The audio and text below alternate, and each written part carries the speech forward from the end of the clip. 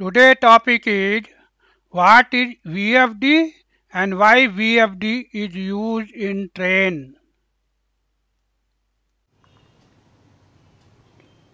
VFD means variable frequency drive. In VFD system, speed of motor is controlled by changing frequency. Now here we have one AC motor, three phase motor. This is three phase supply. Generally it will be induction motor.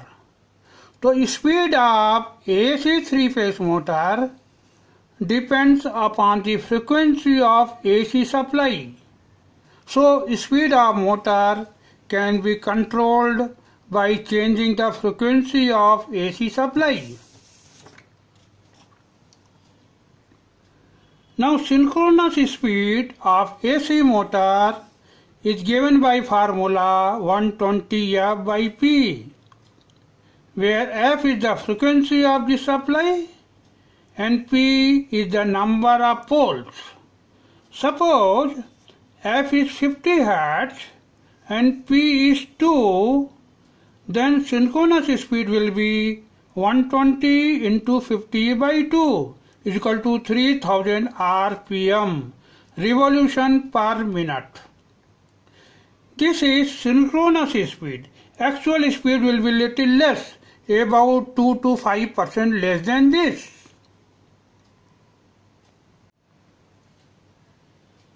VFD system. Here I have shown VFD system. This consists of four parts.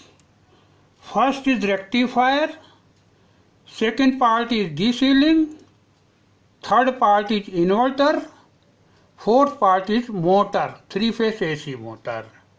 In nowadays, in train engines, we use three-phase AC motor. In old age, DC motor were used, but nowadays in latest technology three phase AC motor are used. Input will be one phase AC.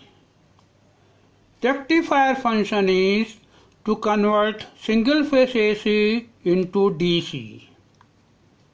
Rectifier is made using diode also, using IGBT also. Latest technology is IGBT based. Because of IGBT control, we can get unity power factor here. This is called the DC link. One capacitor is there. Voltage across this capacitor may be 650 volt DC, maybe 750 volt DC, or maybe 1800 volt. It may be anything depending upon the system. Inverter convert DC into three-phase AC. This also nowadays is made using IGBT. Now to control the motor speed, frequency of this AC supply need to be controlled. That also is done by this inverter. So inverter does two jobs mainly. One is to make three-phase AC supply. Second is to control the frequency. But in traction system, there may be so many controls, but simplest one is to control the frequency here, to control the motor speed. This is inverter which convert DC into three-phase AC. You may be aware of rectifier, three-phase rectifier which convert AC into DC. But inverter is reverse type. It converts DC into AC. There are six switches. These are IGBTs. They will be becoming on and off in sequence. If this becomes on, we get positive voltage here. I have shown here in green color. If this becomes on, we get negative voltage here. So these switches will be becoming on and off. I have shown only 1, 2, 3, 4, 5, 6 times becoming on and off. Actually, it may be becoming on and off many times. When you filter this green color, you get red color which is AC. See here, I IGBT is on for longer duration, so we get more voltage. Here, on period is less, so we get less voltage. So this is AC. I have shown only one phase, there will be three phase like this. And this is the time period of this red color AC. And frequency will be equal to 1 by T. If we want motor speed more, we want frequency more, so T we have to reduce. So this will have to be reduced. So this inverter does two functions mainly. One is to generate three phase AC and second is to control the frequency.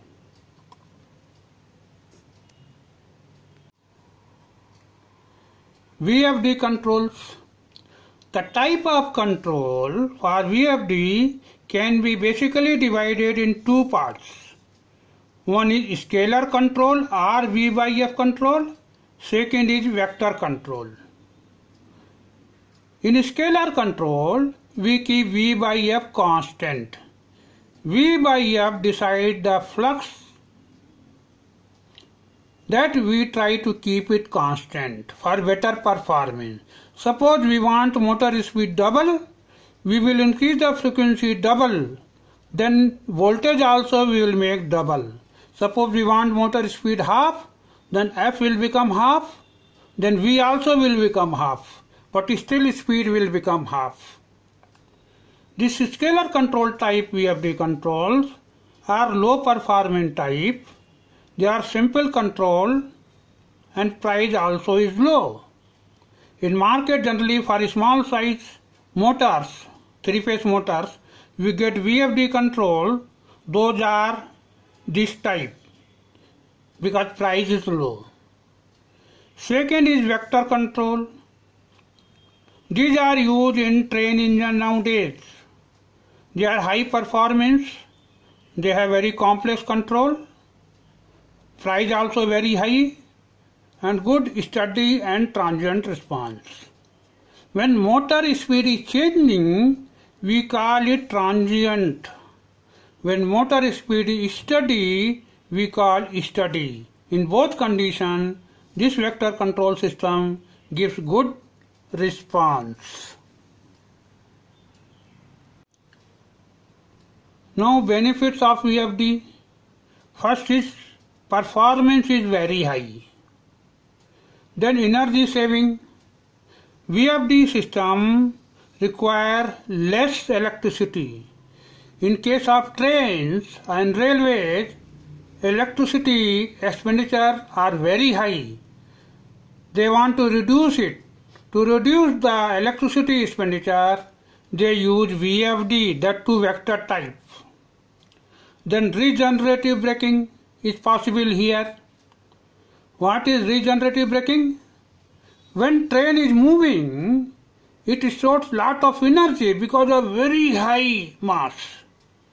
So when we apply the brake, that whole energy or part of the energy is converted back to main. That is called the regeneration or regenerative braking means train energy is converted into electrical energy back to AC system. Then very good transient response. Transient means just now I told when speed is changing. When motor is starting, I say when from station train is about to start, that will be transient response. So VFD control provides very good transient response, so we should feel less jerk. Very good steady response. Steady means constant speed. When train is running at constant speed, then also response of the system is very good. There in train they use vector type. That is very complex system. High power factor if you use IGBT based rectifier in VFD system, then unity factor or about unity power factor can be achieved. Soft starting, when we start, That time we can start slowly, not with jerk. That is the meaning of soft starting. This is required in train. When train starts, you should not move suddenly, you should move slowly. Then torque control. We will not go in detail about torque, but as an example, when you start any vehicle, say train, then lot of torque is required just to start. That is why in car, during starting, you use first gear because first gear gives you more torque. So in VFD, torque control is possible. That too in vector type system.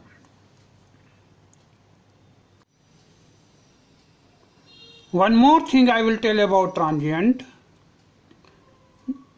That input supply will be changing. When input supply changes, that also called transient condition. During that time, VFD system has very good transient response. Today we will close here itself.